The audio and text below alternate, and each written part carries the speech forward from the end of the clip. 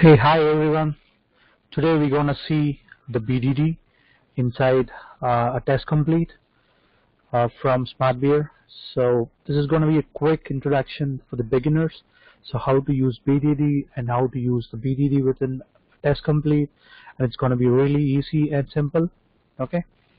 So I have the TestComplete open.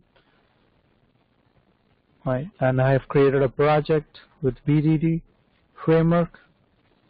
Okay so on the project I'm going to right click add new item.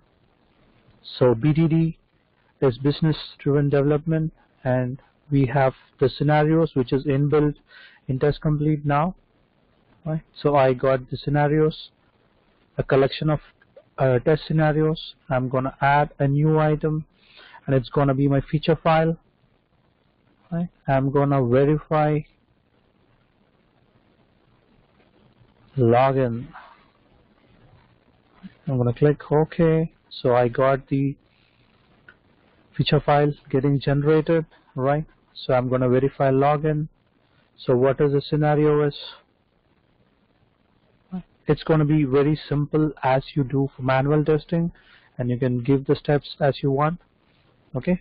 So this scenario is verify valid username and password. Right maybe the feature verify login for web orders. Precondition. So what to, we have to do before verifying the valid and the precondition is login into web orders. Right when and then when entering the username and password and validate whether it's a valid username. Right so this is the feature file I've created from this scenarios. You see it's very simple. So now I'm going to right click and I'm going to get generate step definition right? You see the step generation getting dev, uh, designed for the given introduction uh, uh, uh, login to web orders and when entering the username and password then validating the username right? So for login into web orders what I'm gonna do is I'm gonna launch the browser right item I'm gonna do it with Chrome. I'm gonna run run I'm gonna take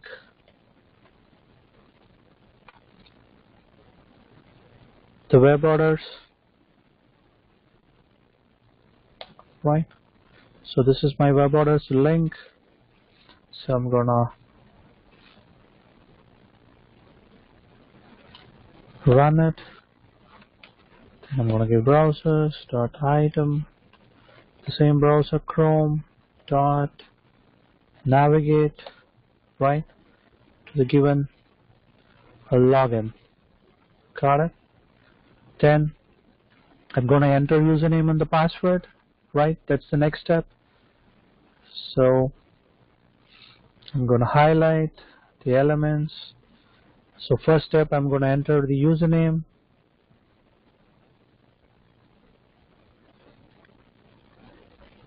Right. So I've used name mapping, which is a TestComplete feature, which stores all your objects. Right. So I have copied the first step. This is my username. So as we know we're gonna use set text yeah and for the application the username this is a sample application. So the username is tester. Then I'm gonna get the next password box. So I got it on the name mapping. Right. I'm gonna make the next line So and the password for this? Right so I will use the other method keys password box right? So and it is test. So after entering this I'm going to use I'm going to click the login button. You see and also here you see they have given the username and the password the sample application right. So I'm gonna enter TestComplete enter into the application and I'm gonna click dot click.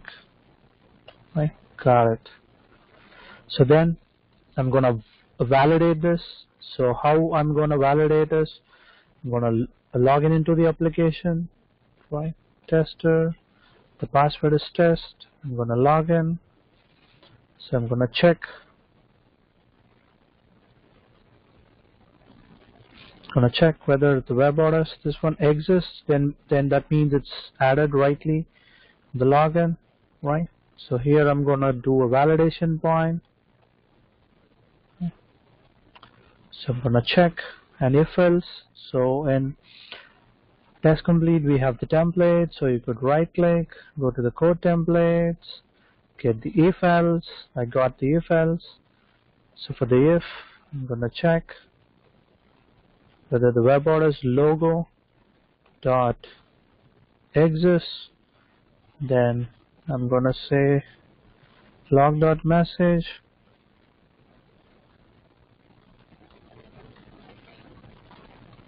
Logged in right? It's gonna be valid username and password and in the else statement I'm gonna make log dot warning. Right? Invalid. Username and password. So my BDD test is done now.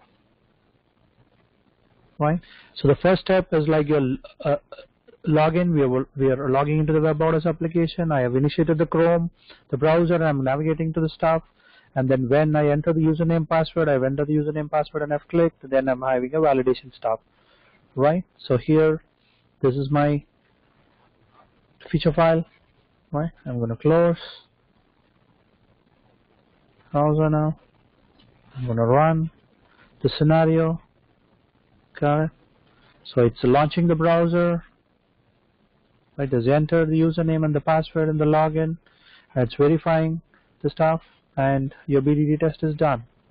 So this is a login into the web orders, launching the Chrome navigate to the browser navigate to the page next entering the username password enter the username tester right? And it got validated right?